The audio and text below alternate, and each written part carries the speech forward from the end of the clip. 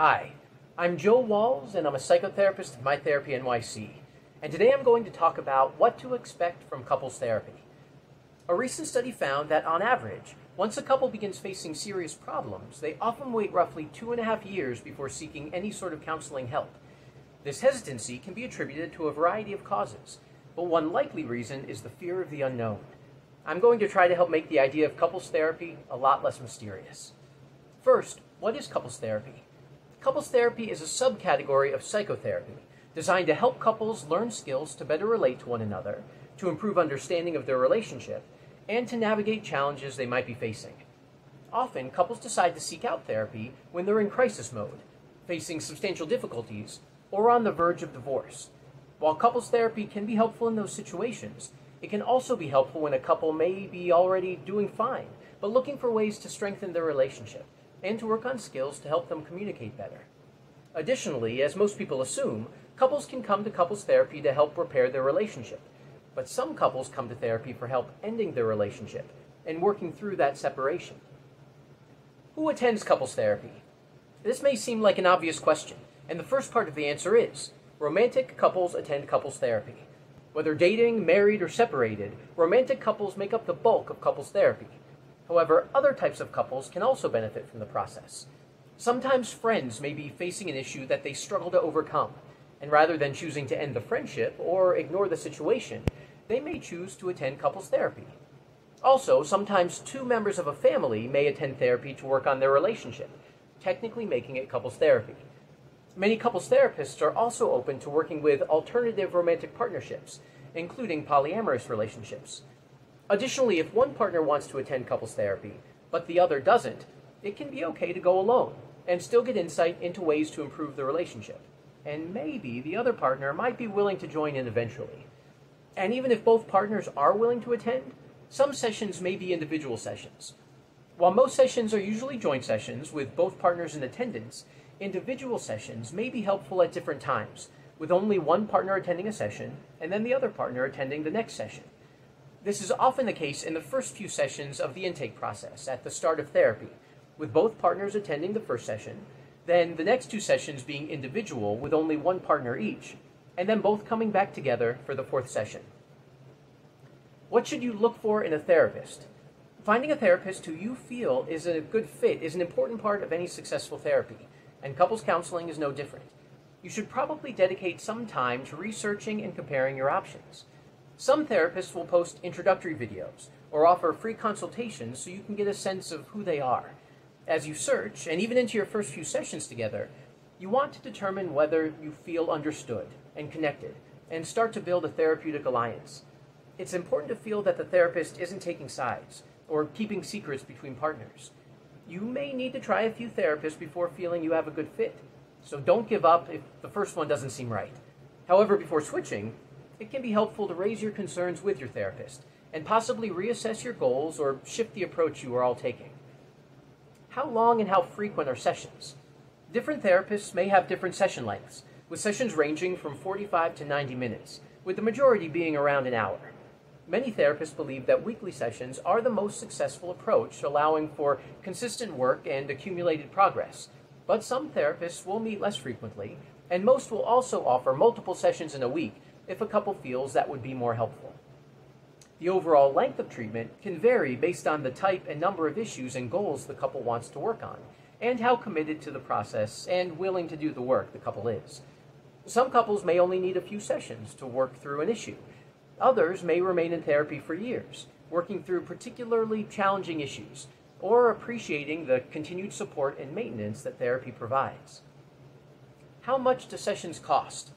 The cost of sessions can vary widely based on the location, education, and experience level of the therapist, with session rates ranging, on average, between 75 and $400 per session.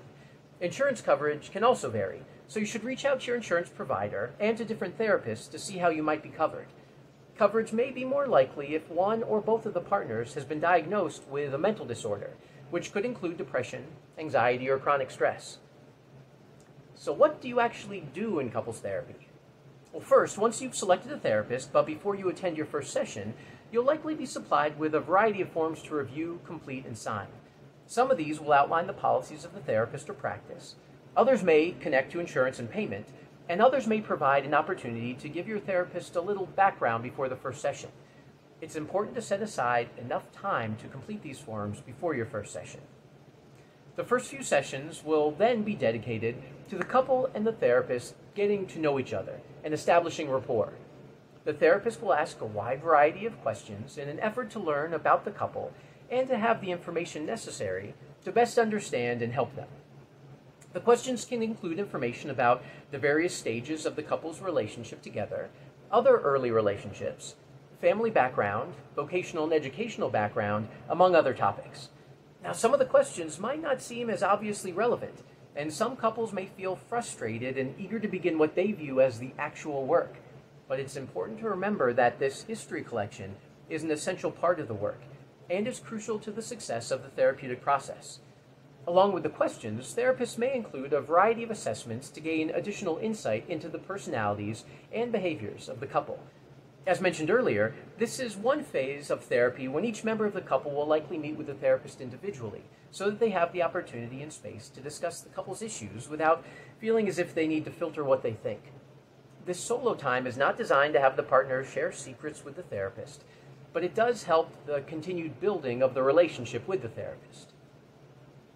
During this early period in the counseling, therapists will often share the strengths that they've noticed in the couple. The couple and the therapist will also explore the issues bringing the couple to therapy, and then work together to establish goals and timelines for the couple's work. The goals and timelines look different for every couple, and often, through the course of therapy, the goals established at the beginning will likely evolve or expand. After the initial sessions, the couple and therapist will likely move toward one of the most important parts of couples therapy learning and developing new skills to strengthen and improve the relationship.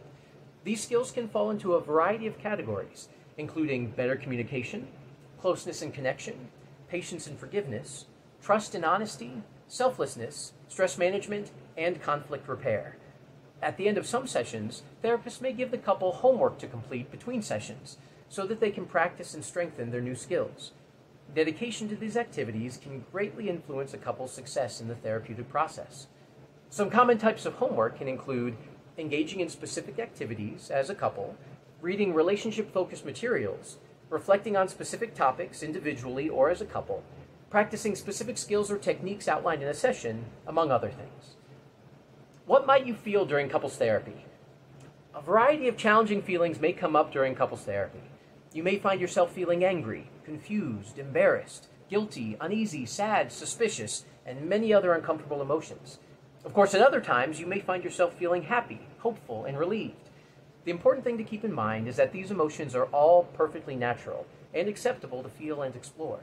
You may leave some sessions feeling worse than when you walked in, but that can also be part of the work. Try to keep in mind that it is work, and it can be challenging. But if you stay focused on your goals, it'll likely all be worthwhile. What do you need for couples therapy to be successful? First, as discussed before, success in couples therapy can look different for each couple. Some couples want to improve their relationship and learn new skills. Some want to solve a specific problem, and others may want help ending a relationship. However, no matter your goal, some qualities will greatly improve your likelihood of finding your success. A willingness to work is an important ingredient to success. In couples therapy, you'll need to be open to exploring issues, adopting new perspectives, taking the work home, committing to the work, and possibly changing. Similarly, you'll need to bring an openness, honesty, and vulnerability to your sessions.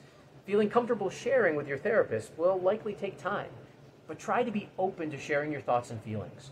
Your therapist is not there to pass judgment. As mentioned before, keep in mind that the situation you're in may seem to get worse before it gets better.